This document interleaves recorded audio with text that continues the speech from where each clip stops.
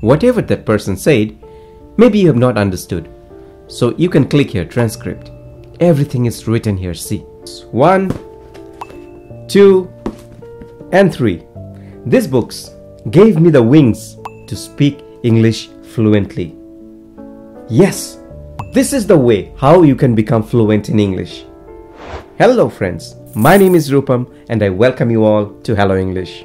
In today's video, I'm going to share with you the most useful and easy habits that helped me to become fluent in English. Like many of you guys, I was also alone once upon a time. I was searching for people who can help me to speak in English. I was searching for someone with whom I can have conversation in English. But that didn't happen. But believe me, my dear friends, I didn't stop. I always had that motivation that I have to do something. If I have to be successful in life, I have to learn English because I know the importance of English. If I can speak English, I can go anywhere in the world. I can talk to anyone with confidence. I can get any job and I can earn money without anyone's help. So that kept me motivated and I did my best. And today I am here, sitting in front of you teaching English. My main purpose, why I wanted to learn English, is that I wanted to be a good English teacher. I want to serve the society. I want to teach people to speak in English.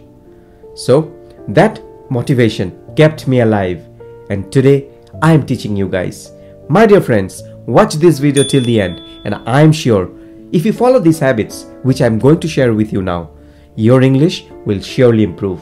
And one day you can sit like me and teach English to the people who, who need the most. So before we start, I have one question for you. Are you reading any book at present? If yes, please share the name of the book. I will also read that book. So let's begin with today's important video. First thing is that 10 to 15 minutes every day you have to find out. You have to keep that time only for your learning English. Yes, 10 to 15 minutes. But the more the better. If you have more time, that's good. But 10 minutes at least. Things what you can do. What I used to do.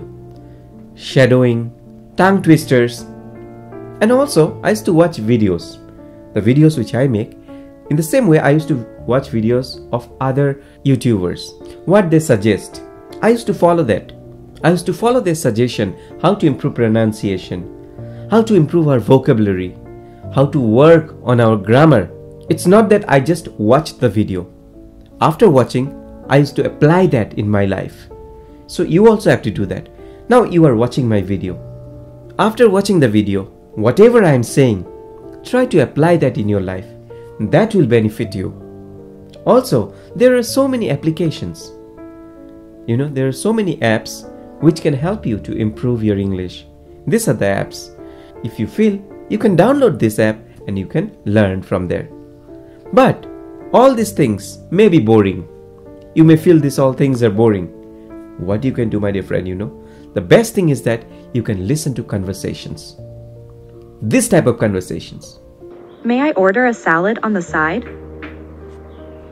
Of course. What kind of dressing would you like? I will have the house dressing, please. All right. How about you, sir? What would you like to order? I am still trying to decide between the daily special and the salmon platter. What is your recommendation? You saw that? I used to watch a lot of conversations. What happened in that process is that I got the idea how to speak in English, how to speak to people, to others in English. So if you don't want to follow the previous things which I said, try this. Make it a habit. Listen to conversations, work on your conversation. Slowly your English will reach the next level. But make sure that you practice at least 10 to 15 minutes daily. The next habit which you need to build is to work on your listening skills. Many people complain that they cannot speak properly. Whenever they go out, they get confused. Why? Because their listening skill has not developed. People say something to them and they cannot reply because they didn't understand. For example, you go to market okay, and someone told you something in English. You can only reply when you understand the question, right?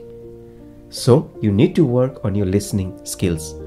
If your listening is weak, your fluency is also weak. Believe me. There is a website which is called British Council. Let me show you. You saw this website? Now, here you get the option skills. Go to listening. Once you go to listening, just go down, okay? See, there are so many lessons. You can click on anyone. Okay, let's click on A1 listening. Done, let's go down. There are so many topics you can follow. Suppose we click on this, a voicemail message. Now, my dear friends, see, you can listen from here. Let's listen.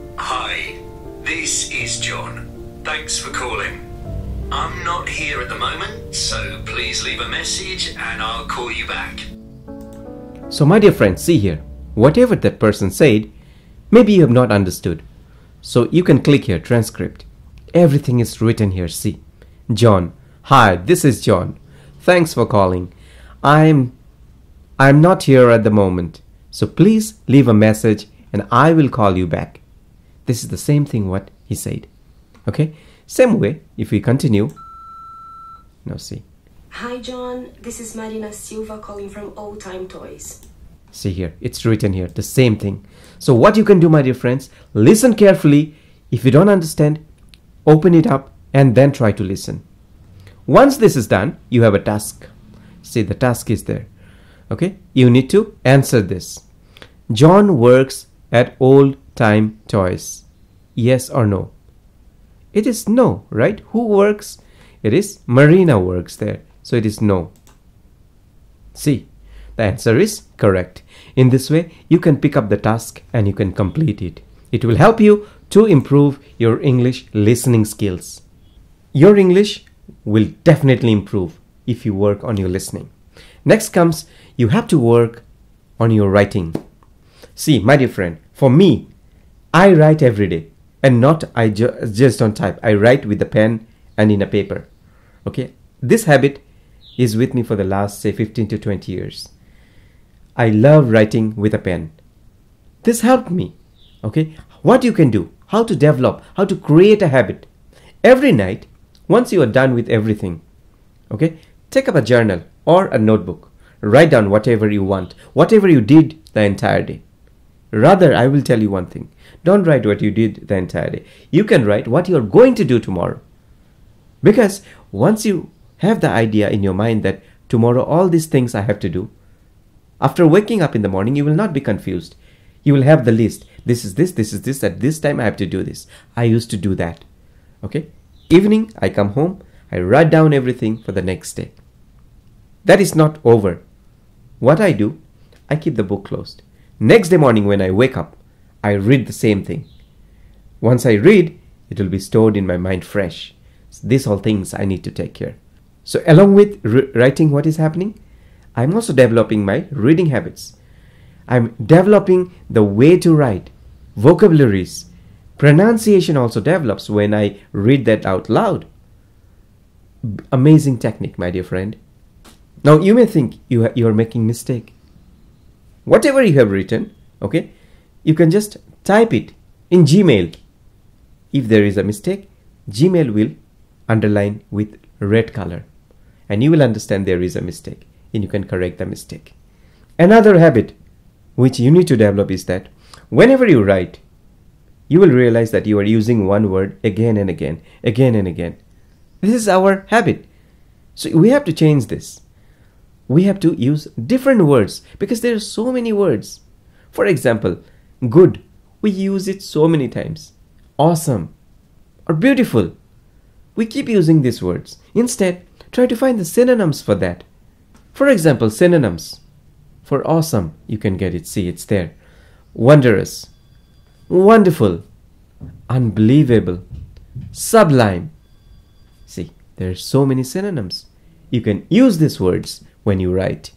Also, we use the word beautiful so many times. Instead of beautiful, you can use words like charming, handsome, attractive, lovely, pretty, gorgeous.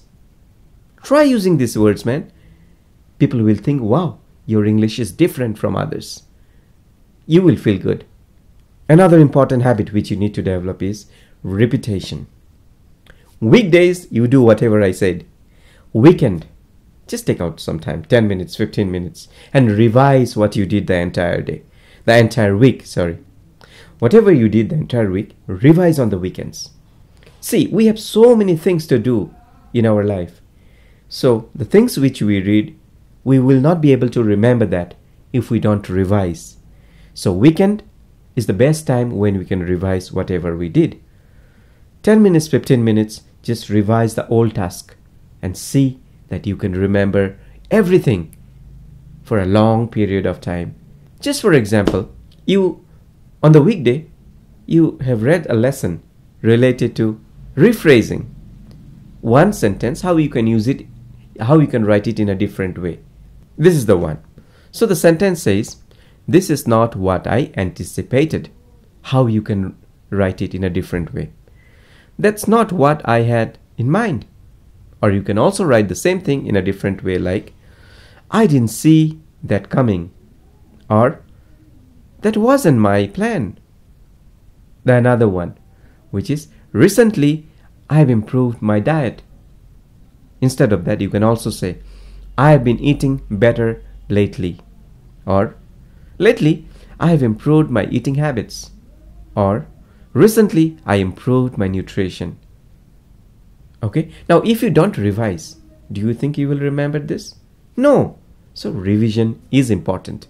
So, what are the benefits for this? Suppose you take up some coaching classes, okay, and you got the materials, what to read, what to listen. Don't be hungry to get the certificate because certificate is valueless unless you know how to speak, how to listen, how to understand English. Certificate is valueless. So, what you can do? Revise the task, what has been given to you. Keep revising and make sure the money you paid for the course comes back to you in the form of education. You become more wise, you understand English better. So that should be in your mind. And finally, set goal and stay committed. You have to set your goal that in next 3 months at least I will be able to manage and speak broken English. That should be in your mind work on it okay work on it and you see things will fall in place because when you keep a target that this is the time frame i have to complete this. You will work on this.